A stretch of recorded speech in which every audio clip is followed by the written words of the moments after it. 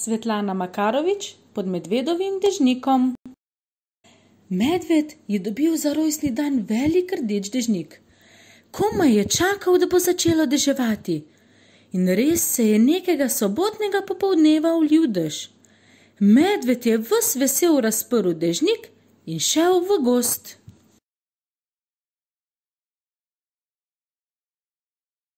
Nasproti mu je prišla stara lisica, tudi ona je imela dežnik. Dobro dan, gospa, je prijazno pozdravil medved, lisica pa ga je samo strogo pogledala in ni niti odzdravila. Medved je skomignil in šel dalje. Pa je srečal srnico, bila je čisto premočena in se je tresla od mraza, gledala ga je z velikimi plašnimi očmi rekla pa ni nič. Medved jo je nagovoril: Stopi no pod moj dežnik, srnica, kjer je prostora za enega, ga bo tudi za dva. Srnica ga je hvaležno pogledala in stopila k njemu.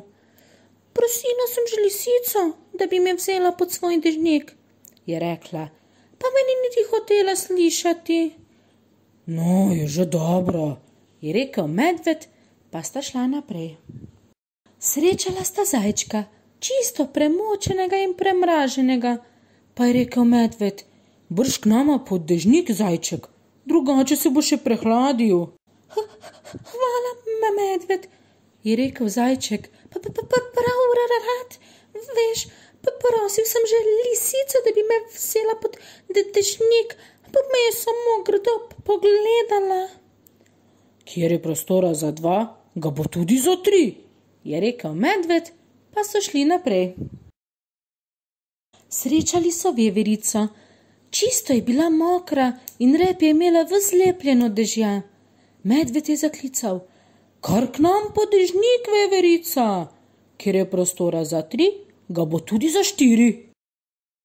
Kako si ljubeznil, medved, je rekla veverica in se stisnila podežnik čisto drugače, kakor lisica. Šli so naprej. Pa jim je nasproti pritekla miška in zacvilila: Medved, medved, vzami me potežnik, lisica me je napodila. Seveda, miška, je rekel medved, kjer je prostora za štiri, ga bo tudi za pet. Miška je smuknila pod medvedov dežnik in tako so bili vsi lepo na suhem.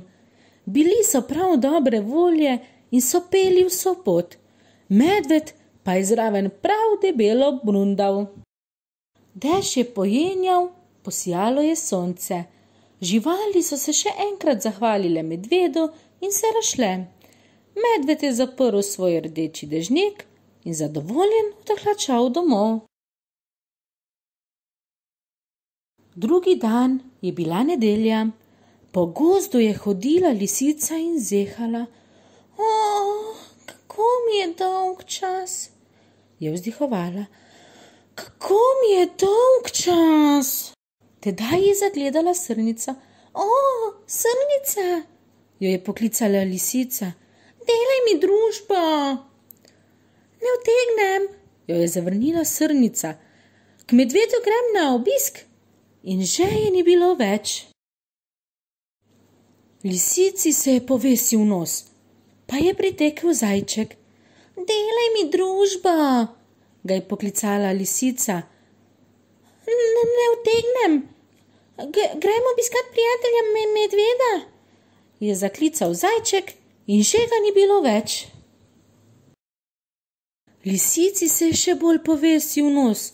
Takrat je priskakljala mimo veverica. Glejo, veverica, se je razveselila lisica. Delaj mi družbo. Kje pa utegnem? je hladno odgovorila veverica. Mudi se mi, k medvedu.